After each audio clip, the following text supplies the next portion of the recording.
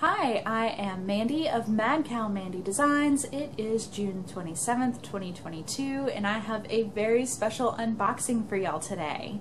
So, you know that I love sock yarn and I love knitting socks, so every month I order the Southern Skeins sock box. I got my hands on the Not Sock box. Oh my god. Okay, so Jenna dyes up the sock box and then she has the not sock box which normally speaking will have anywhere from DK weight up to a bulky weight yarn. The weight's a surprise, the color, the theme, it's all a mystery and you get it every month. So for this year, Jenna kind of changed up the game a little and for the whole year you're getting DK weight yarn. Um, that way if you want to participate in the chat knit was it no hashtag chat knit night uh, our little zoom group that we have you can use that yarn to make your blanket. You don't have to use her yarn in order to come play with us and make the blanket and have the zoom call. That's just part of all the fun. She wanted to curate the box so that it would go well with this and make a beautiful blanket at the end of it. Um, Pam really likes DK weight yarn.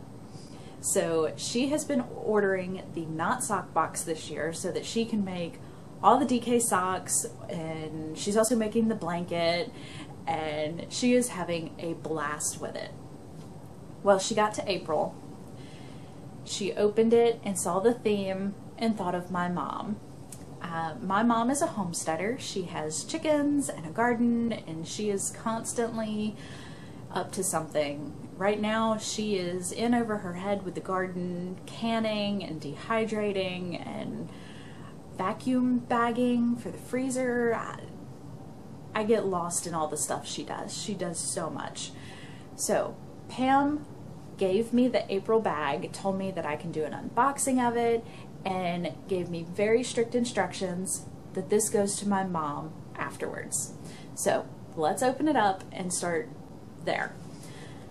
This is a Miss Fiber Fox bag. And oh my god, it's so cute. It's all garden themed.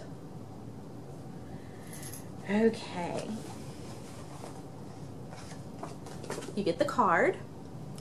And make sure everything looks about the same.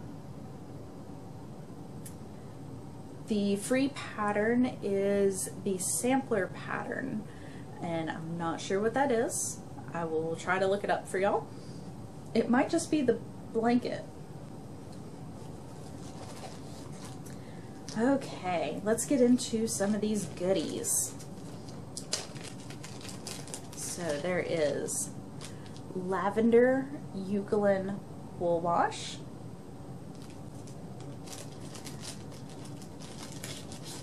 Some chamomile stash tea.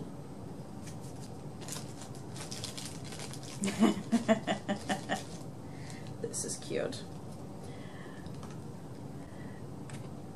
Yarn chicken sticker.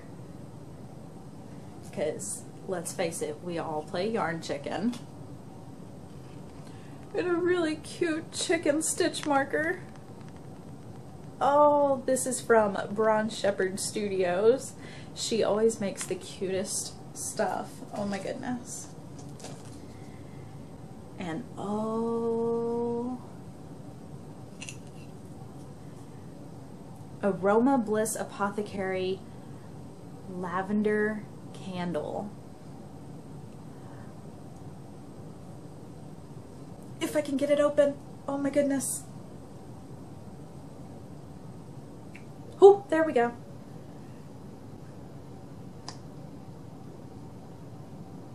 Hmm. Ooh. It smells really good.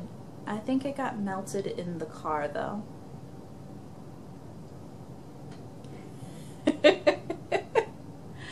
uh, I may have left this outside. I didn't know that it had a candle in it.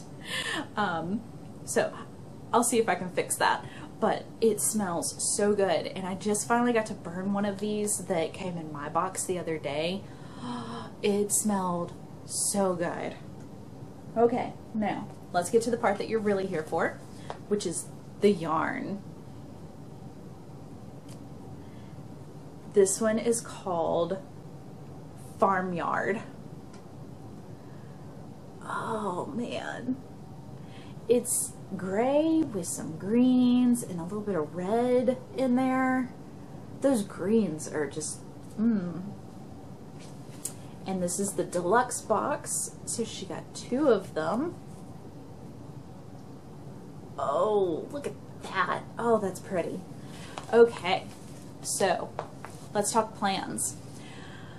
Um, I am going to make a pair of socks for my mom. They'll, she really likes the DK weight socks to be house slippers. That's what she calls them. Uh, she'll, she keeps them right next to her bed, puts them on first thing in the morning, tools around the house, makes her coffee and everything, and then she swaps into her day socks and goes out into the yard to work.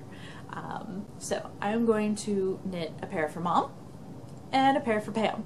So they will have cute little matching farm socks.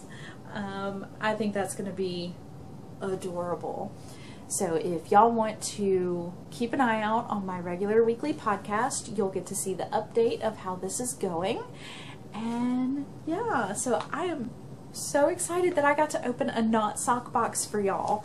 And if you want to join in on any of the fun, links are down below for the sock box, the not sock box, and all of the rest of her yarn. You really can't go wrong with Jenna's yarn. All of it's so squishy and yummy.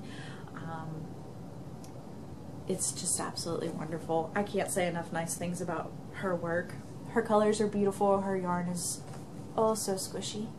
So head on over there, check her out, and I will catch up with y'all on the weekly podcast. Bye.